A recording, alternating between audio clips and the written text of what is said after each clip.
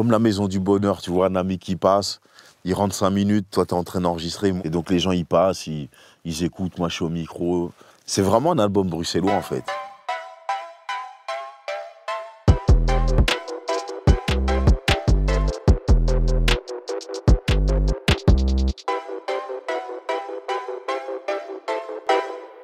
Salut Isha, Bonjour Nargis, comment tu vas? Très bien, je suis content d'être là, merci. Pareil, très contente d'être avec toi. On va parler de ton album, Ouais, Labrador Bleu. Labrador bleu. Ça arrive après la trilogie euh, LVA, La Mhm. vie augmente. Ouais, Il y a eu un EP, euh, Faites pas chier, je prépare un album juste avant ouais, pour euh, faire patienter. c'est ça. Et là, donc, l'album Labrador Bleu. Ouais, l'album, ben, la trilogie de base dans le plan global, c'est, ça devait préparer un album en fait. Mhm. Donc là, on y est, c'est, on a fait tout ça pour ça, Ouais. pour Labrador bleu. Et le fait qu'on soit proche de la sortie, Mhm. c'est parce que c'est pas encore sorti, mais bientôt, Ouais, euh, et que bientôt ça va appartenir euh, au public, ouais, euh, bah, finalement plus à toi du coup. Qu'est-ce que tu te dis? Comment tu te sens? Ben, comme d'hab, beaucoup de pression. les, les artistes, on a une de nos caractéristiques, c'est la peur de décevoir le public, les spectateurs, les auditeurs. Donc, j'espère que les supporters, ceux qui sont là, vont aimer. Ça, c'est le premier objectif. Et puis, s'il y a d'autres gens qui, qui aiment et qui rentrent dedans, ben, c'est encore qui- mieux, quoi, tu vois. et, et du coup, par rapport à l'album, là, tu dirais que c'est plutôt un regard sur le passé ou sur le, le présent ou- Euh, Il y, a, y a un peu des deux, ouais. Je traverse. euh, pour une fois, ouais, c'est. Je pense qu'il y a. Il y a beaucoup d'espérance et de choses euh, du futur ouais, dessus. ouais. C'est aussi pour tourner une page, je pense, cet album. Ouais. C'est ça, c'est intéressant de l'observer dans cette idée de trilogie qu'il y a pu y avoir avant, avec euh, bah, La vie augmente augmente. 1, 2, 3. Et finalement, là, ça arrive sur euh, Labrador euh, bleu. Bleu, ouais. On sent que le triptyque vraiment est fini. Ouais, ouais, il est fini et euh, j'ai l'impression de. Tu vois, j'en ai tellement dit dans les, le- la trilogie sur moi que j'ai l'impression de parler un peu moins de moi, vraiment. euh, J'essaye d'être aussi un peu spectateur de ce qui se passe dans cet album-là, là où vraiment je, je me racontais. Et ça a été difficile cet album parce que j'en ai dit énormément sur moi euh, dans, les, dans les trois projets, tu vois, que je me suis dit, mais qu'est-ce que je vais raconter en ça. fait, tu vois. Et donc il y a une manière. euh, J'essaye de moins parler en jeu et plus être spectateur dans cet album. ouais. Et en même temps, c'est intéressant ce que tu dis parce que moi, j'ai toujours trouvé que dans ton écriture, le jeu, il était un peu absent. Enfin, il y, a- il y a ce truc où Ouais. euh, la réalité est jamais trop loin et tu as une écriture qui est très documentaire. Mhm. Et il y a d'ailleurs, euh, tu vois, un mot qu'on utilise pour parler un peu de ce style, Ouais. j'ai envie de dire d'écriture, c'est l'écriture blanche, dans le sens où elle est au plus proche du réel. Ouais. Et avec ou sans ce jeu, j'ai toujours trouvé Mhm. que ton écriture s'approchait de ça. Ouais, après, moi, j'ai eu très peu de recul, hein, mais c'est vrai que c'est, en vrai, c'est beaucoup d'images. J'essaie de dire les choses simplement. Quand j'écoute du rap, j'aime comprendre directement, j'aime euh, que la personne aille droit au but et pas trop passer par des, des comment on dit, Des biais? Ouais, ou des, des choses un peu, un, un peu indirectes ou essayer de, de- d'y mettre la forme, quoi. Ok. Tu vois.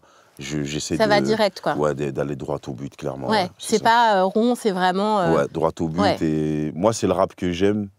Et je pense qu'en en faisant ça, c'est, on facilite la compréhension à l'auditeur et la compréhension aussi de, de qui est Isha, en fait. Mhm. Tu vois Donc, tout ce que je pense, j'essaie de le dire simplement. Et dans cette idée de, de rap que t'aimes, euh, pour euh, lancer cet album, il y a Ouais. un morceau qui est euh, sorti qui s'appelle La réincarnation de Biggie. Ouais, Et c'est vrai que c'est très difficile pour moi de ne pas penser à, Ouais. à New York et, et à, à ce rap-là Mhm. quand tu dis euh, le rap que j'aime. ouais. Ben, c'est aussi un rap très imagé, très lifestyle, C'est ça où on se raconte. Je- le rap new-yorkais, ça a une spécificité, c'est que c'est, ben, c'est marrant parce que la référence que j'ai, c'est pas du tout new-yorkaise, mais c'est euh, It Was a Good Day de Ice Cube. C'est pas où, mal. où on raconte des choses très simples et c'est Mhm. un peu l'essence du rap new-yorkais. Et euh, quand tu écoutes ces gens, tu sais directement qui ils sont.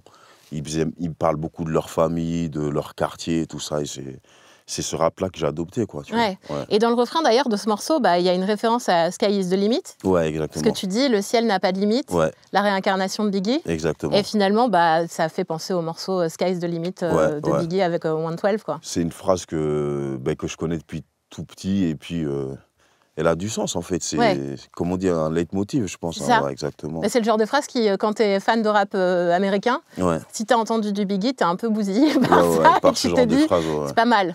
Ouais, Biggie, c'est après, c'est le.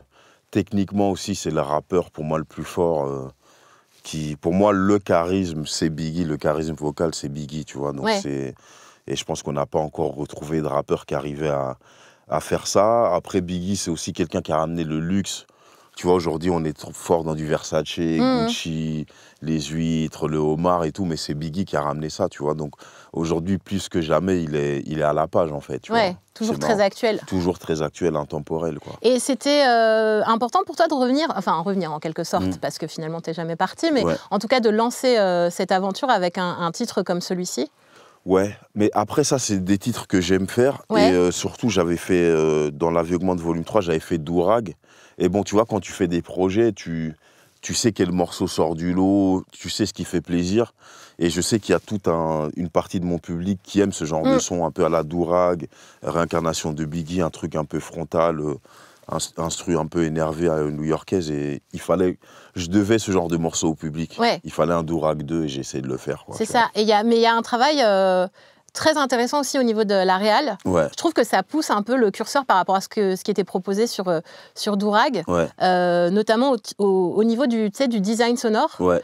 Euh, bah, Il y a un peu cette patte euh, pour vraiment, si on doit parler du, du morceau, au début, tu rentres, euh, tu sais, il y a toujours la petite nappe qui commence et Mhm. ensuite tu pars. Ouais. Ça, j'ai l'impression que c'est un truc que tu aimes bien, Ouais, j'adore. de Ouais. laisser. Et puis derrière, il y a vraiment bah, des, des- des signatures tu vois, vocales qui viennent s'opposer. Et puis il y a un vrai travail, encore une fois, en termes de réal. Ouais, on a, on a passé beaucoup de temps. C'est, on me demande souvent c'est quoi la différence. euh, Enfin, tu vois ce que ça Album, fait, l'album EP. Mais honnêtement, je pense que il n'y a pas réellement de différence. Pour moi, c'est un projet et je l'ai construit de la même manière en donnant énormément de, de ma personne, tu vois. Mais la seule différence, c'est le temps qu'on a passé à arranger les sons. Donc c'est un, un projet, ce morceau et tout le projet est passé entre les mains de, de Lamsi, un beatmaker à, à nous et un arrangeur Qui est hollandais, c'est ça? Qui est hollandais, il vient d'Amsterdam. Et donc on communique en anglais et j'essaie de lui faire comprendre euh, à certains moments, là il faut qu'il se passe quelque chose, là c'est un peu trop chargé, il faut enlever. Et on a passé énormément de temps à, à peaufiner les morceaux. Ouais. Et euh, bon, après c'est... C'est triste, mais il y a des détails que le public euh, ne, ne remarque pas ne remarquera pas, mais les connaisseurs et les gens qui travaillent un peu en studio peuvent comprendre euh, Ouais. qu'il y a des heures de travail derrière, quoi. Tu vois. Et, et en même temps, peut-être qu'ils les comprendront pas, Ouais. mais qu'ils les ressentiront. Oui, je pense, c'est ce que j'allais dire. Je crois que, mine de rien, il, il, il sent qu'il y a un truc qui les fait kiffer plus que d'habitude et c'est des petits détails, quoi, exactement. Et par rapport à ce souci du détail, si on doit vraiment euh, commencer au commencement, parce Mm. qu'en vrai, euh, là on est parti sur euh, le premier titre, euh, extrait de cet album, Ouais. mais on doit commencer par l'intro, Ouais, parce que c'est un, c'est un projet qui est vraiment écrit d'une façon à ce qu'il faille l'écouter en commençant par le premier titre. ouais, exactement. vois ouais, bah, j'ai voulu. c'est aussi une différence, c'est que pour moi, les, dans les grands albums euh, de, de mon époque, quand j'étais ado, il y avait toujours des interludes, des choses un peu parlées, des, du sound design. Tu vois, j'adore mettre des, des bruits de choses euh, dans les morceaux. Ça permet une, une narration, en fait, de Mhm. raconter une histoire et de plonger l'auditeur dans, dans une atmosphère, quoi. Donc, on, euh, le, le Labrador bleu, en fait, c'est le nom d'une pierre tombale, tu vois. C'est la pierre tombale qu'on a choisie pour mon frère. C'est du granit. Et euh, je voulais euh, dédier cet album à mon frère. Et à travers euh, cette pierre, j'ai voulu dessiner un parcours de vie, C'est ça, c'est un cycle de vie? un cycle de vie. Et donc, ça commence par une échographie, quoi. Mhm. Et, et donc, on, on suggère un bébé qui va venir au monde. Et, tout, et ça finit par euh, un enterrement, par le, choix de la pierre tombale. Labrador bleu. Ouais, exactement. Donc, c'est un parcours de vie, Ouais. clairement. ouais. Et, et ça, c'est euh, c'est venu à quel moment? Est-ce que c'est vraiment à partir du moment où tu as commencé à avoir assez de titres que tu t'es posé, que tu as réfléchi? Ouais, ben non, ben figure-toi que j'avais. Donc, avant de faire cet album, j'avais un album prêt que j'ai jeté parce Oui. que je trouvais pas assez bon. Et T'as pas tout jeté T'as pas- gardé oh, Ouais, j'ai gardé le meilleur, j'en ai fait un petit EP, ça mais j'ai jeté une dizaine de titres et je me suis rendu compte que ça n'allait pas parce que j'avais pas de titre. Tu vois, j'avais pas de, de concept, j'avais pas de, de- voilà, partir, de fait. direction. Tu Mm. vois. Je faisais ça parce que je sais que parfois j'arrive à, à créer et trouver une explication par après, une interprétation, une petite histoire à raconter, tu vois. Mais cette fois-là, j'ai, quand j'ai eu tous les morceaux, je me suis dit, bon, comment on va lier tout ça? Si j'étais incapable de le faire, ça tirait dans tous les sens. Donc, euh, je me suis posé, je dis, voilà, il faut trouver un nom, quelque chose qui va porter l'album. Voilà, je je me suis rappelé de cette pierre, je l'ai regardée, elle me, elle, c'est comme si quand je, tu regardes cette pierre, moi je vois le truc en mouvement, c'est vivant, tu vois. Ouais. Et donc du coup, j'ai euh, j'ai commencé à écrire là-dessus. Et, je et je pense que c'était important d'avoir, euh, de poser la première brique, quoi, tu vois. Et, et il me semble que dans les premiers titres euh, qui sont sortis, en tout cas les premières briques, Mhm. il y a eu le titre, le premier titre, enfin si on passe l'intro, Ouais. euh, Tueur de dragon. Ouais, ça c'était un des premiers que j'ai enregistré, ouais. Ça c'est euh, le genre de morceau que... c'est- Il est très court, c'est un, long couplet il me semble. Et quand je l'ai écouté, j'ai su directement que je voulais commencer l'album par ça. Dans mes autres projets, j'avais euh, toujours euh, des intros qui faisaient très int- intro, tu vois. Mhm. Donc, euh, soit un truc sans rythmique ou bien un truc un peu poignant. Et là, je me suis dit, pour une fois, je vais essayer de commencer avec quelque chose de neutre, tu vois Ouais. de commencer un album sans avoir la prétention de dire euh, roulement de tambour, euh, l'album arrive. Donc j'ai mis un titre assez simple pour rentrer dedans, quoi. Et en même temps, le, le- le titre, enfin si on parle du titre Ouais. de ce morceau, c'est Tueur de dragon. Ouais. Et du coup, je pense que c'est pas un choix anodin. Non, c'est un hommage à ma ville, en fait. C'est la ville de Bruxelles. euh, notre emblème, c'est un tueur de dragons. Mm. C'est Saint-Michel, donc ça a toute une histoire. Et, et en fait, tu sais, des fois, tu vis dans des... Tu vis à un endroit, mais tu connais pas les, les- symboliques et tout, tu vois. Et puis, euh, parce que tout est toujours en hauteur. Et nous, euh, malheureusement, on, on regarde beaucoup nos pompes, tu vois. Puis des fois, tu, tu te lèves et tu regardes tous ces monuments, ces statues, tu lis ce que tu n'as jamais lu, et puis tu, tu comprends que la ville a une histoire. Et tueur de dragon, en fait, finalement, c'est un peu mon combat, parce que le dragon, c'est un peu le démon. Et tu vois, c'est un peu comme si tu, tu, tu voulais tuer un peu tes démons. Et, et en fait, je me suis dit, c'est hyper lourd, c'est l'histoire de, de nos vies, quoi, de tueur de dragon.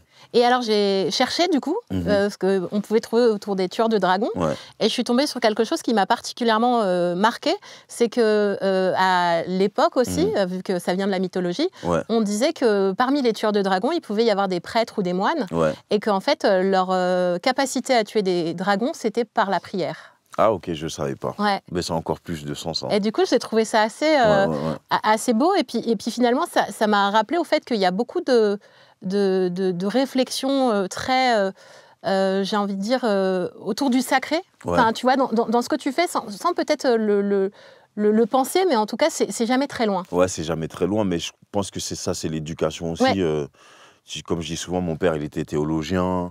Tu vois, euh, on, est, on est croyant, on a beaucoup lu le catéchisme et tout. euh, donc ça fait partie de moi. Donc il y a souvent des petites références euh, bibliques ou des trucs comme ça. dans ma musique, c'est fort présent. Et ce titre, il est à observer Ouais, dans sa globalité, dans le sens où il faut regarder le mot qui ouais, arrive, entre parenthèses, euh, qui est le mot vent. ouais. Le mot vent, en fait, c'est euh, dans cet album, j'ai au fait, j'ai remarqué que les éléments, quand tu les mets dans un certain sens, ben, ça fait aussi un parcours de Mm. vie, tu vois. Ça commence par le vent, c'est le souffle de vie, C'est ça tu vois. Après, à partir du moment où, où tu, tu existes, tu vas, tu vas pécher, tu vois. Donc, le péché, les mauvaises actions sont euh, souvent euh, associées au feu. Après, euh, si tout va bien, tu prends conscience des choses. Et dans plein de cultures, l'eau L'eau pour, lave, se tu laver. vois.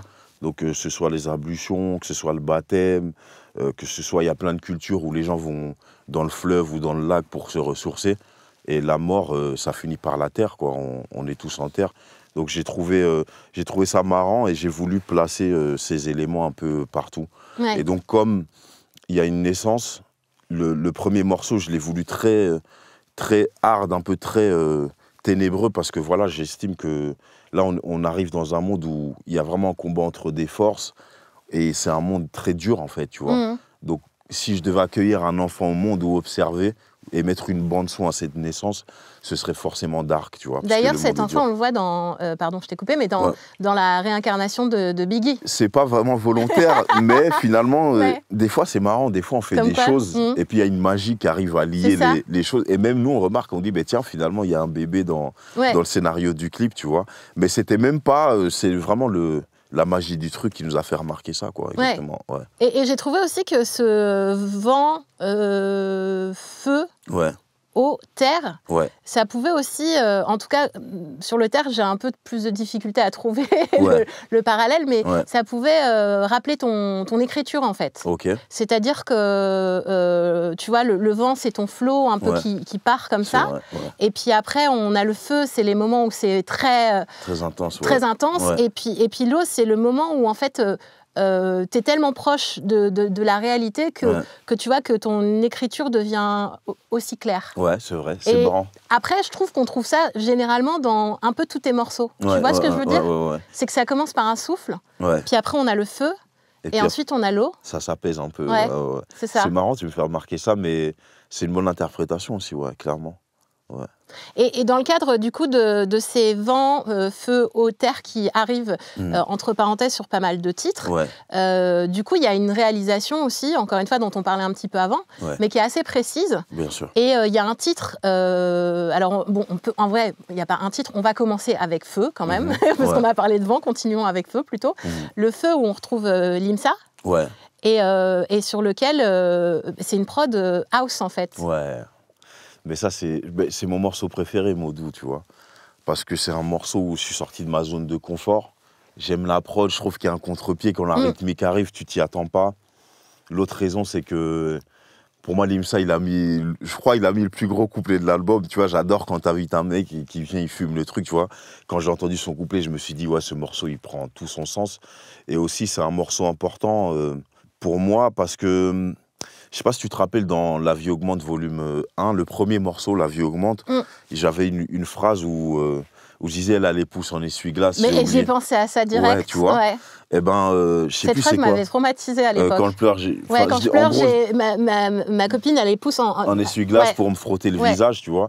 Et en vrai, de vrai, j'ai réalisé que le, ce morceau, c'est vraiment cette image-là, ça part de cette image-là.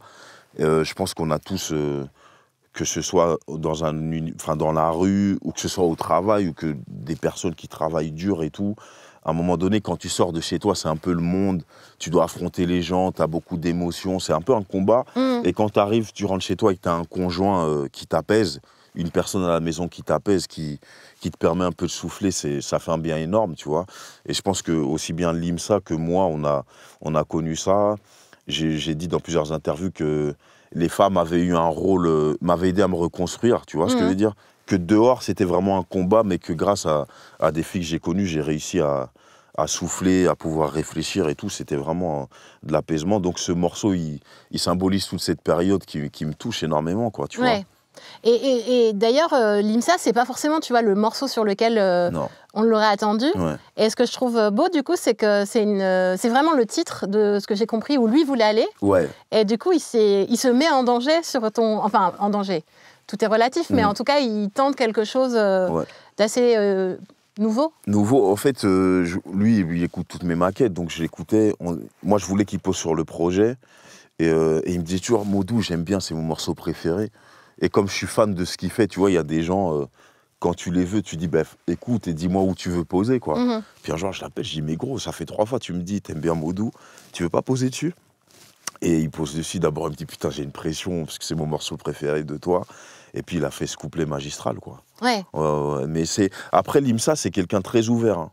Tu vois, c'est quelqu'un de très ouvert qui aime tester des choses, qui est qui, qui, pour moi en fait d'ailleurs il vit à Bruxelles maintenant, mais je pense que c'est un des rares euh, Parisiens qui a ce truc que les Belges ont de d'essayer des choses et pas de sentir euh, se sentir ridicule, tu vois, d'essayer d'aller sur plusieurs terrains. Il a ce truc là, Limsa. Et, d'un point de vue euh, musical ou sonore, toi, tu le vois comment le feu sur ce titre? Mais le feu, c'est. Tu vois, quand je dis je retourne à Paname, traîner avec les mots doux, c'est un peu tu retournes faire des mauvaises choses. Tu vois, c'est un peu le. On a tous fait des choses à un moment donné où, où les gens se sont dit, mais est-ce qu'il y a. qu'il a encore une âme, tu vois, est-ce que, tu vois Et donc, ce- c'est ça le feu, c'est de sortir, et c'est le péché, sortir, faire des, des choses dont on n'est pas fier, et rentrer et se dire, euh, en fait, toutes ces choses me font souffrir et heureusement qu'il y a quelqu'un Ouais. pour nous accompagner, quoi, tu vois. Et, et c'est là que je trouve ça euh, hyper intéressant de pouvoir en discuter parce que finalement, autant il y a des titres où on entend ça, tu sais, euh, très clairement dans, dans- dans les ambiances. Ouais, Et, et pour ce qui est du feu, sans euh, l'explication, tu peux voir la symbolique. et en même temps, c'est pas mal parce que tu peux te faire ta propre interprétation, Interprétation. j'ai envie de dire. Mais c'est plus, c'est plus subtil. Ouais, c'est plus subtil. Après, il y a ce feu de, de dehors. Et puis, il y a aussi. Le feu de dedans. il y a le feu de, de l'am- de l'amour, en fait. Tu vois, ça. je veux dire, ce Mm. feu de, entre deux personnes. Et je suis content de ce, ce morceau parce que pour moi, un. Tu sais, j'aime bien mélanger les émotions, même finalement les thématiques, mais c'est un son rue, mais amour en même temps. Ouais. Tu vois Et, et, et- et je je suis content parce qu'en termes d'écriture, on a réussi. Mais en termes de son, l'instru m'inspire ça aussi, tu vois. Il y a une espèce de, une espèce de, un espèce de spleen, une espèce de tristesse de la rue, mais que tu peux joindre à- au feu, enfin là, à cet amour, quoi. Ouais. Tu vois Et tu dirais qu'elle a évolué euh, comment ton écriture? Tu, tu, l'as- tu sens, euh, tu vois, une évolution? Ouais, je sens une évolution parce que, tu vois, quand j'ai jeté le, le projet, une partie du, du premier projet, j'ai eu tout. En fait, j'ai eu peur. Tu vois, je me suis dit, pour la première fois, je me suis dit peut-être que tu n'as plus de jus. et moi, et c'est un moment que je redoutais parce que moi, j'ai un peu ce syndrome où quand je faisais des bons projets, je me disais c'est de la chance, tu vois. Ouais. Et je me disais, bon, c'est de la chance, j'enregistre comme ça. euh. Tu vois, quand il n'y a rien, la vie augmente, il n'y a rien qui est étudié, qui est. C'est pas précis pour moi. Donc quand j'arrive euh, chez des journalistes qui me disent, putain, c'est hyper précis, hyper pointu, Mhm. je me dis, ah ben, c'est un coup de chance, en fait, c'est les, Oui. le- la, la magie de la musique. Mais je m'étais toujours dit que ce truc-là pouvait s'arrêter un jour. Mhm. Et là, quand j'ai dû jeter des morceaux, dire à mon public que j'aurais un an de retard pour cet album, je me suis dit, bon, c'est peut-être là, en fait. Et ça m'a poussé dans mes retranchements et ça m'a poussé à faire quelque chose qui, qui, qui m'a ouvert les yeux sur plein d'autres choses, c'est ma méthode de travail. Donc ça fait euh, aujourd'hui 20 ans que je fais de la musique, près de 20 ans. Et j'ai compris que je ne pouvais pas avoir la même méthode de travail pendant 20 ans, que forcément le résultat, à un moment donné, l'œuvre, elle va, tu vois, ça va s'essouffler. Mhm. Donc ce que j'ai fait, c'est que j'ai j'ai, euh, changé ma méthode, donc j'écris plus. Je vais en studio, je me pose dans la cabine et euh, j'écris phrase par phrase, en fait, tu vois. Ok. Euh, et, et donc ça permet d'avoir un côté spontané, ça permet d'avoir un espèce de contrôle dans le sens où des fois quand tu écris à la maison, ben, tu arrives en studio, tu te dis finalement Ouais. c'est pas ça, mais là tu peux en temps réel euh, construire ou déconstruire les choses. Ça m'a donné confiance en moi énormément parce que hum, tu vois j'ai réalisé qu'on pouvait pas se préparer euh, de manière studieuse, aller en studio. Euh, par exemple, j'ai une session le jeudi, ben, le mercredi, je vais commencer à, à- je vais m'enfermer chez moi pour être sûr que tout soit bien pour le studio. Mais en fait, tu fais ça depuis 20 ans. En vrai, le truc, Ouais. tu prétends que tu l'as en toi, que c'est facile. Bah alors vas-y comme ça, tu vois. Et je prends un peu l'exemple des, sans, sans dire que je suis un Brésilien, mais des, des footballeurs brésiliens. Il y a une légende qui dit que ces gens-là, ils s'entraînent même pas qu'avant les grands matchs. Ils font la fête. euh, Eh oui, j'ai déjà entendu ça. ils font la fête, ils vont en boîte et, et ils sont hyper performants, tu vois. Mais je pense qu'à un moment donné, il faut avoir confiance en nous. Et, euh, et ça, c'était comme si je recommençais le rap, en fait. Quand tu changes ta méthode, t'es- tu sais comme si tu sortais de l'œuf. Et, et, et même en termes de flow, ça, m'a emmené techniquement à faire autre chose. Ouais, je suis content. C'est ça parce qu'il y a aussi euh, toute cette réflexion, euh, enfin cette réflexion, c'est ce que je suppose. Ouais. Mais en tout cas, quand on écoute euh, ce projet, bon, c'était déjà le cas dans, dans la trilogie, mais le flow varie beaucoup. Ouais, Et il y a plein d'exercices. Et, et d'ailleurs, si on doit continuer dans, dans cette histoire d'éléments, O, ouais, c'est donc le morceau Royauté. ouais. Et perso, je pense que c'est mon préféré, Ah, mais c'est vraiment un titre euh, qui est hyper intéressant d'un point de vue euh, comment tu poses en fait. Ouais, ben c'est là, euh, là où je me dis, il faut monter les BPM. Mm. Il va un peu plus vite. C'est, euh, Au fait, j'ai essayé de kicker un peu plus, mais sans vouloir mettre l'aspect technique, sans faire un exercice de style pour que les gens disent wow, wow, wow, tu vois. Mm. J'ai juste essayé d'accélérer certains moments, de mettre plus de mots, tu vois. Et euh, avant, j'avais tendance à être sur ma zone de confort où j'aimais le rap, tu vois, comme Biggie, très posé, tu vois, ou très aéré entre les phrases. Et là, il y a des morceaux où, où ça respire beaucoup moins dans Ouais. les couplets, en fait. Et comment tu rentres sur un morceau comme celui-ci justement, sur euh, Royauté? C'est les premiers mots, euh, genre ça a été micro ouvert, la première phrase est sortie, ou c'est Ouais. vraiment un truc de fin qui est arrivé en premier? Non, là, ben, là, non, franchement, il y a un ordre chronologique, c'est du début à la fin. C'est ça, je sais pas dire, c'est la prod, ce qu'elle m'inspire mélodiquement. Tu vois, après, j'aime bien, tu vois, je marche sur le boulevard. J'aime bien d'abord poser une image de où je suis, ce que je fais dans beaucoup de mes textes. Si tu C'est ça, tu commences. euh, ouais. toujours par un décor, Mm. tu vois. Ça va être euh, une heure, ça va être le temps, ça va être un lieu ou une action, et puis après, je développe, quoi. Tu vois. Ouais. Ouais, c'est souvent comme ça. Et du coup, tu dirais que. Bah, on parlait tout à l'heure du fait de marcher en ayant beaucoup la tête. euh, Ouais, Voilà. Mais est-ce que ça demande de, de relever un peu plus la tête pour écrire comme ça Ouais, c'est pour ça que je l'ai appelé royauté, parce que je trouvais qu'il y avait un. Je sais pas c'est quoi le mot, mais il y avait un côté. euh, Justement. Ouais, on bombe on le bombe. torse réellement dans, la prod et la Mm. manière, dans la manière dont j'ai posé, tu vois. Et puis c'est pour ça que dans le refrain, le micro-refrain, j'ai j'ai mis le mot royauté, loyauté. Mm. Et c'était une manière de. Tu vois, je parle dans la deuxième partie, je, je parle de l'Afrique, l'Afrique sur le pendentif, une descendance forte, une descendance libre, tu vois. Et donc il y avait ce côté sur ce. Je parle moins de l'Afrique dans ce projet-là, mais sur ce morceau-là, j'avais envie de, Ouais. de parler de ça et de, de, de, de- voilà, de parler de l'histoire. Et, euh, et aujourd'hui, on, on ouvre un peu les livres, on lit un peu entre les lignes. Il y a, il y a un côté euh, royal euh, dans, l'Afrique à l'époque, quoi, tu vois. C'est ça. C'est une terre de, de rois, quoi, Mm. tu vois, tout comme la France et tout. Et il y, a- il y a le travail euh, en termes de réal, encore une fois, Mhm. il est assez euh, ouf parce qu'il Ouais. y a l'eau, on Ouais. l'entend cette fois-ci. Mhm. Et puis après, le, la prod, elle est inversée Ouais, t'as capté. et elle est un peu ralentie, je crois. Ouais. Et du coup, ça finit le, le- le morceau. Il y a une deuxième partie Ouais, ouais, c'est ça. où on a demandé à l'AMSI de prendre euh, l'élément de la première instru, Mm. l'élément mélodique, et lui sera le roi pour mettre à l'envers, pitcher, tout ça. Et puis ça te fait une mélodie. Et, et on est à- après, on est allé sur un truc très minimaliste où, où justement on a parlé un peu plus deep. Quoi. Et en, en- euh, côté prod, alors j'ai cru comprendre que l'AMSI, euh, comme d'autres par ailleurs, vous envoyez pas mal de, de palettes avec euh, des, des titres et que, Ouais.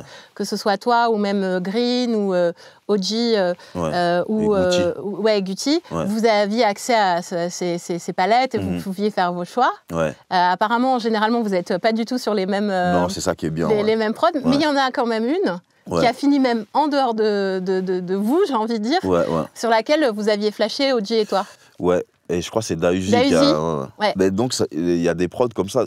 Dans des palettes de, de 20 prods, ben, il y en a une. Moi, j'avais fait une maquette dessus de mon côté, je l'ai fait écouter à personne. Après, euh, Oji aussi, il avait fait une maquette. Et puis, Dausi, finalement, euh, Ouais. on avait fait un single, quoi, tu vois. Ça a fait le coup, hum, euh, laisse tomber, ouais. Voilà, donc moi, je moi, j'allais pas le garder, tu vois. C'était comme un petit test. Et euh, les- le morceau était bien, on allait le garder, mais on a, on a dû changer la prod. Et ouais, donc nous, on a une adresse email où. Donc déjà, il y a les packs de l'AMSI, mais après, il y a des packs qu'on reçoit. Il y a plein d'inconnus aussi qui Ouais. vous envoient des. Moi, je regarde même pas les Ouais. noms, hein, tu vois. Dans, dans mon album, il y a des gens pas connus du tout, tu Mm. vois. J'écoute les prods. Après, si je vois que ça sonne bien, je retiens le nom du mec. Et en général, je vais ouvrir toutes ces prods, euh, tous ces mails, tu Ouais. vois. Et puis, euh, et j'ai découvert des. Le mec, les mecs qui ont fait euh, Biggie, euh, Akira, il s'appelle, c'est un mec, j'ouvrais ses prods depuis longtemps et puis je suis tombé sur Biggie, tu vois. Comme quoi? Ouais, comme quoi. ouais. Il fait des prods bizarres, très bizarres, et ça que j'aimais bien, c'est chelou. Et, euh, et Biggie, c'était la plus, la moins bizarre, on va dire, tu vois, qui était Ouais. accessible au rap français. Donc j'ai pris sans hésiter direct. Ouais, Il est français? Ouais, ouais, ouais, il est français, ouais. Et on, on parlait de Oji juste avant. Mhm. Euh, Oji, qui est, je crois, la dernière euh, signature, de votre euh, label. Ouais, ouais. Et qu'on retrouve sur l'album sur le titre Étage. Étage, ouais. OG, c'est. Bah, en fait, c'est mon petit cousin, tu vois, c'est le demi-frère d'un cousin, donc finalement, c'est la famille, tu Ouais. vois. Euh, on, a une histoire particulière parce qu'il y a un membre de la famille, euh, enfin plusieurs, mais un, euh, enfin, un, un de mes cousins qui s'appelait Lionel qui est décédé en 2005, tu vois, la même année que mon père, de, dans des histoires de rue. Donc, c'est, pour moi, c'est le petit frère de Lionel, tu vois. euh, et donc, c'est- il y a une symbolique en plus de, de le mettre en avant. Et Étage, c'était un morceau hyper important et j'avais envie de, de faire ce, ce cadeau et de partager ça avec lui. Ouais. Et c'est aussi un morceau où j'ai essayé des choses et quand les gens écou- écoutaient les maquettes, c'est un morceau qui, re- qui ressortait, Ouais. un des morceaux qui ressortait le plus. Ouais. Mais d'ailleurs, dans le track listing, on le retrouve euh, bah, dans le Dans début, en début, fait. ouais, c'est après Tueur de Dragon. voilà, juste après le, le morceau qui introduit l'album et c'est des places euh, Qui de sont gros assez- morceaux quoi, en vrai, tu ça. vois. Quand t'aimes un morceau, tu le mets là. C'est dur de choisir l'ordre ou pas? Euh, moi, je crois que c'est. bah, encore, je te parlais de chance, tu vois. C'est quand je faisais les trilogies, c'est toujours moi qui fais le tracklist. Et on me disait toujours, putain, c'est super bien tracklisté, ça s'écoute de A à Z et tout. Et euh, moi, je pense pas que c'est dur. Je pense que c'est des choses qu'il faut faire à l'instinct, tu vois. Ouais. Comme quand on te pose des questions, euh, on te dit non, tu réponds du tac au tac. Ben, le tracklist, je le fais comme ça, je- du tac au tac, je le fais, ce qui semble cohérent. Et, euh, et puis après, peut-être il y a des, des petites anomalies que je Ouais, vais des corriger. petits ouais. ajustements. Mais je me prends pas trop la tête pour ça. Ouais. Non, ouais, ouais. Et sur quoi, du coup, tu te prends la tête On a parlé de beaucoup de choses déjà, mais. Ben, en fait, sur pas grand chose jusqu'à cet album où, où la quantité des morceaux. J'ai quand même essayé de. C'était la première fois que j'allais en studio même sans être inspiré. Tu vois, avant je trouvais ça ridicule d'aller en studio alors qu'on n'avait pas de vibe, tu Ouais. vois. Et puis là, je me, suis- je me suis dit, euh, là, je dois le faire comme un boulot et me mettre une discipline où chaque semaine, il me faut deux, trois nouvelles maquettes. Et donc, j'y allais comme ça. Donc, ça fait que j'ai beaucoup jeté, parce que j'ai enregistré énormément. Je crois que je suis à 50, entre 50 et 60 maquettes, tu vois. Et euh, il y a des choses que tu abandonnes, tu fais un refrain, tu fais un petit couplet, puis tu, tu cesses de travailler dessus, et puis ça t'emmène à d'autres choses. Donc, je pense que la, quanti la quantité, c'est la première fois que j'ai enregistré de manière industrielle, on va dire. D'accord. Et pour revenir un peu sur euh, le track listing, euh, il y a le dernier élément, Mhm. euh, Terre. Ouais, Et là, c'est un morceau qui s'appelle Balle dans, balle dans la tête. dans ouais. la tête, voilà. Bon, là, c'est très, j'ai envie de dire, précis dans le, dans, dans, dans le titre. Ouais, ouais, ouais. Est-ce est-ce que ce morceau, il a été difficile à faire? Mais déjà, c'est. Non, il n'a pas... Non, il a pas été. En fait, oui. Tu sais pourquoi? Parce que c'est le seul morceau où, où on m'a donné une top line. Tu vois, j'ai Mmh, jamais-. J'ai jamais, jamais. C'était aussi une des choses que je voulais changer dans, dans cet album. C'est que j'avais une manière de travailler très euh, solo, quoi, tu Mhm. vois. J'étais dans ma bulle, chez moi, je travaillais en studio. Il n'y a jamais beaucoup de monde avec moi. Je suis toujours seul avec l'ingé. Et j'ai vu, ce, tu vois, j'ai vu des, des potes à moi qui travaillaient avec d'autres personnes qui leur faisaient des top lines et tout. Et je m'étais dit, je vais essayer. Et là, c'est la première fois que je l'ai fait avec euh, Mourad et Djelali, des amis avec moi qui, qui font des top lines pour d'autres personnes. Et voilà, ils, ils m'ont donné les mélodies, puis j'ai écrit euh, bloc par bloc, phrase par phrase, et, et j'ai construit. Donc finalement, c'est vrai que c'est marrant parce qu'il a été conçu différemment. Quoi. Ça a été un exercice Ouais. vraiment de le faire. Je trouve que c'est un des rares morceaux de l'album, parce qu'il est très sombre, j'ai Mm. l'impression, cet album, mais c'est un des rares morceaux où, où tu vois un, un rayon de soleil, quoi, tu vois. Et tu parlais de la prod et du côté sombre. Ouais. Et il y a aussi le, le- la réflexion autour des instruments. Enfin, tout à l'heure, on parlait un peu de, de toutes les prods que tu pouvais choisir, mais j'ai la sensation aussi qu'il y a des prods qui te plaisent plus que d'autres. Mais il y a aussi le, le- le truc un peu guitare. Ça, c'est les beatmakers. Je pense qu'il y a des tendances euh, en termes d'instruments, euh, comme il y avait le piano à une époque ou le violon. Là, on est fort à une... Ça fait déjà 4-5 ans, hein, moi, je pense, Ouais, où, ouais. où c'est la guitare, quoi, tu vois. Il y a un truc magique et, et, et les beatmakers, euh, enfin, les guitaristes, ils- tu vois des guitaristes dans tous les studios venir faire des accords. Et, et moi, par contre, là, j'ai pas d'exigence. Je laisse les beatmakers aller euh, où ils veulent. Et, et- mais quand j'écoute les packs, même pour te dire, euh, il y a. À un moment donné, j'ai dû arrêter les guitares. Parce que j'ai- dans tous les packs, il y a, sur 5 prods, il y en a 3-4 en- à, à la guitare sèche, tu vois. Ok. Ouais, ouais. Euh, donc c'est un instrument qui est, qui est présent dans le paysage. C'est pas moi qui ai décidé d'en Ok, je, me demandais en fait si Ouais, c'était toi qui aimais plus ça que. Non, mais par contre, après, ça me touche parce que c'est la tendance et il y a plein de tubes, euh, tu vois, de, de Gunna, de Da Baby, des sons qu'on écoute Ouais, où c'est la guitare. Et en fait, faut, faut- c'est eux qui amènent cette tendance-là. hein. Mm. Et, et- et moi, clairement, j'adore. Ouais, ouais. Et c'est marrant parce que je voulais d'ailleurs te demander si tu étais inspiré par ces mecs-là en particulier. Les, tu vois, les Gunna, Da Baby, je pensais même à des Lil Durk ou Polo G qui sont vraiment les top heads euh, aujourd'hui euh, du rap. euh, Moi, j'arrive à. Ouais, j'ai- j'ai- j'aime beaucoup ce qu'ils font. Mm. Moi, je les gens seraient étonnés parce que, tu vois, l'image que j'ai, on peut penser que j'écoute pas du rap, de rap mainstream et tout. ouais, genre que tu écoutes Griselda par exemple. Ouais, mais non, j'adore ce qu'ils font, mais j'arrive à écouter des choses sans avoir envie de le reproduire nécessairement. je vois tu ce vois. que tu veux dire. Mais j'écoute euh, grave du rap d'Atlanta, Memphis et tout. Je suis, je suis bousillé à ça, clairement. Ouais, Bon, ouais. en même temps, le rap américain, c'est un peu ce, que, ce qui guide depuis. euh, en tout cas, c'est, là-dedans que tu as baigné. Quoi. Ouais, c'est ça. Et puis, euh, tu vois, réussir à rester à la page quand tu rappes depuis autant de temps, tu dois forcément euh, aimer un peu ce qui se fait, quoi. Les tendances ou être un peu corda avec ce qui Ouais, ouais, se bah, fait. parce qu'après tout vient de là-bas, que ce soit même rappé à contre-temps. Ouais, ou, c'est euh, ça. Parce que de toute façon, tous les beatmakers vont proposer ça. Donc en vrai, c'est vraiment il y a une tendance où on est obligé un peu de, de monter dans le bateau et de faire des trucs à notre sauce. Oui, c'est ça. Ouais, ouais, il y a Et après, c'est se démarquer, mais en tout cas, même le mumble, Voilà, tout vient finalement de, de là-bas. ouais, de ouais, là-bas. Et puis après, il y, a des- il y, a des- il y a des choses qui font qu'on se différencie euh, beaucoup euh, dans, dans le rap francophone, euh, pour pas parler uniquement de la France, mais euh, en tout cas, tu sens toujours la petite inspiration. ouais, euh, ouais, ouais. Mais ça, c'est ouais, les. Mais faut remercier les beatmakers. C'est grâce à eux qu'on est un peu à la page en vrai. Ouais. Tu vois, c'est eux sans qui. forcément aller euh, geeker. euh. Voilà, tu vois, c'est eux qui nous rendent, enfin des mecs comme moi qui nous rendent pas ringards, tu vois, parce que en vrai de vrai, tu mets le même texte sur des prods un peu, tu vois, qui sont pas, T'as déjà fait le test, ça d'ailleurs? Euh, sur des prods qui étaient pas trop actuels et Ouais, tout. tu vois, faire, genre, je sais pas, poser une, un, ouais, un, un Si- titre sur un truc un peu plus, peut-être Ouais, mais non, vieux, j'ai- j'ai envie de dire. non, j'aime pas, j'aime pas. Je trouve que ça vieillit, tu vois. Le rap, c'est une musique, euh, je le vois comme un mutant, Ouais, c'est vivant. ouais, qui, Mm. qui, qui vit et celui d'il y a quelques années, pour moi, il, il a, il y a plus trop de, de sens, quoi, tu vois, à Ouais. faire ça, ouais, clairement. Et en même temps, après, du coup, ça pose la question de la difficulté à faire des morceaux qui ne, qui ne sont pas périssables, si je peux dire. Ouais, Tu ouais. vois ce que je veux dire? Ouais, mais euh, ça, c'est que le son. C'est le son, même le mix, hein, Le travail. Le travail, même le mix, la manière de mixer, peut déterminer la durée de vie d'un morceau, tu vois. C'est pour ça que même le choix de l'in- de l'ingénieur du son qui va mixer, de ses références, des- de la folie qu'il peut amener, ça te fait vivre un titre plus longtemps. J'ai cru, que t'étais tr- enfin, j'ai cru comprendre que tu étais hyper à cheval euh, là-dessus, aussi, sur le choix du. Ouais, mais sur l'album, je l'ai été. Ouais. Avant, j'étais. euh, C'est aussi une des différences. J'étais bon. Tu vois, le mix du moment que c'est bien. Tu vois, c'est bien ajusté, qu'il y a un bon effet sur la voix, c'est bon. Mais là, j'ai. J'ai voulu, il y a certains morceaux où on a mis un peu de folie, ce que j'appelle de la folie. Ça veut dire qu'il y a des traitements de voix euh, vraiment opposés, radicalement opposés. Il y a des morceaux où, où, où la voix est très claire, des morceaux où la voix l'est moins. Et, ça permet de voyager, en fait. Là, le mix, il est fait par? Euh, par euh, Romain 2386 Lab, c'est des gars euh, Ouais. du 9-4. Ouais, euh, comme ça. euh. voilà, qui on s'est liés, liés d'amitié. C'est des mecs, des passionnés qui arrivent à, à comprendre ce que tu leur expliques.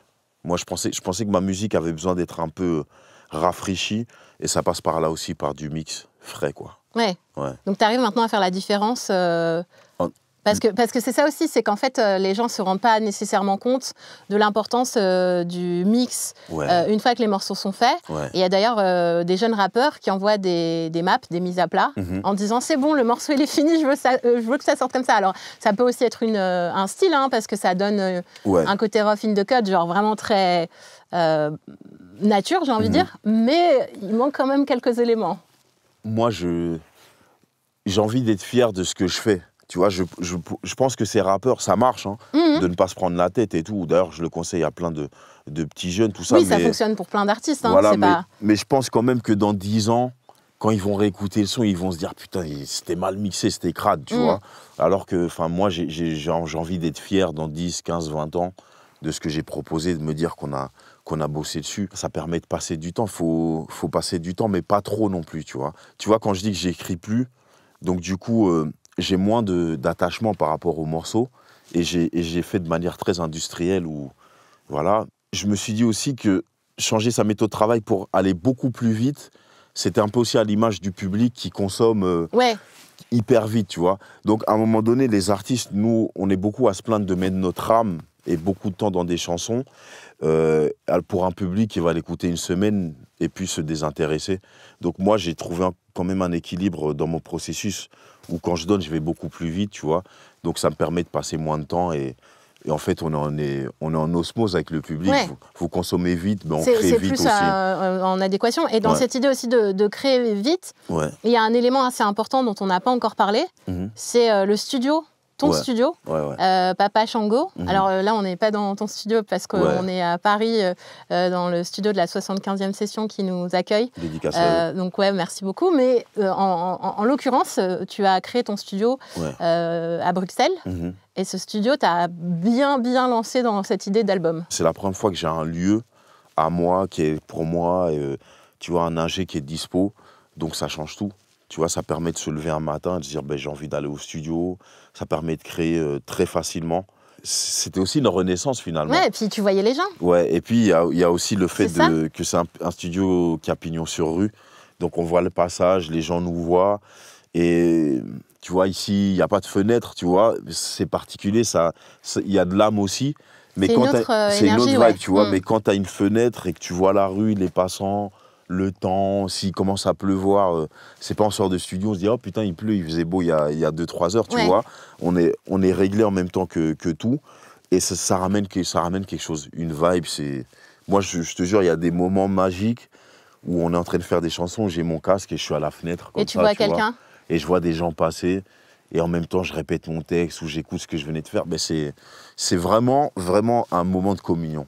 Tu vois, les gens s'en rendent pas compte, mais c'est là où tu vois que l'art, il y a il y a un côté que tu peux pas expliquer, euh, ce truc, euh, ben, des éléments, du temps, de la ville, les bâtiments, tout ça, ça c'est la bande son, tout ce qu'on fait, tu vois. C'est ça. Et en même temps, ça s'intègre euh, parfaitement, encore une fois, ici, dans un cycle de vie Ouais, que tu vois euh, devant tes yeux. ouais, ouais, Et du coup, je me demandais si tu avais peut-être plus enregistré en journée, ouais. ouais j'ai beaucoup, vu qu'il y a une vitre et tout. Ouais, j'ai beaucoup en- enregistré en journée parce que même le studio, j'avais envie qui, qui, qui tourne quand le quartier vit, Vivant. quand le quartier est vivant, tu vois. C'était important de participer à la vie du quartier. C'est comme la maison du bonheur, tu vois, un ami qui passe, il rentre cinq minutes, toi tu es en train d'enregistrer. Moi j'ai l'habitude d'enregistrer quand il y a du monde, ça me dérange pas plus que ça. Et donc les gens ils passent, ils, ils écoutent, moi je suis au micro, après 20 minutes ils partent et puis d'autres viennent. Donc cet album, c'est vraiment l'album... euh, c'est vraiment un album bruxellois en fait, qui a été fait dans, au centre-ville, dans les rues de Qu'avec des Bruxelles. Bruxellois, d'ailleurs, parce que Ouais. bon, l'IMSA vit à, Ouais, ouais, à. Bruxelles maintenant. C'est ça, tu vois, qu'avec des Bruxellois, avec Bruxelles qui vivait autour du truc, le mix et tout, c'est un album de la ville, Parce réellement. qu'il y a aussi euh, Caballero et Et Jean-Jacques, euh, exactement. pour rester sur euh, les feats et expliquer le qu'avec des Bruxellois. Ouais, c'est ça. Mm. Et eux, on avait fait Tosma, ça avait bien marché. Et je m'étais toujours dit que pour l'album, euh, ouais, il fallait une- un une- autre morceau, quoi. Une, suite, quoi. Ouais, c'est ça, exactement. Et du coup, le, le- le projet, il finit par. euh, c'est intéressant, il y a l'outro, Ouais, puis Labrador Bleu. ouais, c'est ça. Ouais, moi j'aime bien les. Mais c'est FD, hein. Je crois c'est très Quinry, ça. Ouais, c'est qu'un rythme, mais même euh, les grands albums FD Phénomène aussi, il y avait un truc comme ça où il y avait l'outro, puis il y avait un morceau Mm. qui s'appelait Les Prolongations, je crois, ou un truc comme ça, tu vois. Parce que moi, j'ai plus pensé à des refs euh, mais US. c'est- US, mais en fait, je pense qu'à l'époque, le rap français, on était. Ouais, bousillé on par. on s'est ouais. toujours calqué, Mm. tu vois, sur Mm. les trucs et. euh, et, euh, et ce truc d'avoir euh, la fin, et puis finalement, non. En fait, tu sais qu'il y avait même un ghost track, tu Oui. vois, il y avait même un morceau caché, ce que j'avais déjà fait dans LVA1. Mais là, ils m'ont déconseillé de le faire. Au niveau du stream, je crois que les tracks comme ça, où il y a des ghost tracks, ils ne le mettaient pas. Donc ça m'a un peu brisé le cœur, tu vois. Mais normalement, Labrador Bleu, le morceau Labrador Bleu, j'avais prévu de le mettre en ghost track. Donc il y avait l'outro, j'imaginais avec euh, après euh, 20 secondes de, sans musique, Ouais, et puis on met Labrador Bleu. L'idée de base, c'était ça. ouais. Pour Bah, aller encore plus dans le ça, côté ça va encore plus loin dans le côté euh, très, très hip-hop. euh. Ouais, mais là, je fais des trucs d'anciens qui se compliquent Ouais, trop. bah tout oui, ça, oui, donc, oui, Et tu aurais peut-être pu même laisser un 16 pour qu'on puisse poser à la fin. Ouais, ouais, On aurait été dans que le- ouais. l'exercice euh, Avec la parfait. capella à la C'est fin. ça, ou une phase B. Mais vous avez déjà pensé euh, à vous dire, euh, on va sortir, euh, je sais pas, un, un single euh, avec, tu vois, face A, face B, Non, en non. mode de titre, vraiment pour. Non, j'ai jamais pensé, mais je crois que les. Il y a tel- tu sais, avec l'arrivée des type beats, Ouais. les, les trucs, il y a tellement de. Avant, avant les rappeurs, quand on était gamins, nous, les rappeurs faisaient ça. C'était bien parce qu'on pouvait rapper dessus, on s'entraînait dessus. C'est ça. Mais aujourd'hui, il y a pff, Ouais, des, des tu- tu millions de chercher prod, des en fait, tu vois. euh. Je pense pas que ce soit intéressant pour les jeunes, quoi. Et ben, en tout cas, je te remercie beaucoup, euh, Isha, pour ce moment. Merci à toi, C'était Narges. trop cool euh, de parler de l'album. Merci beaucoup. Et puis, je te dis courage pour la sortie. À toi aussi, à bientôt. À bientôt. Merci.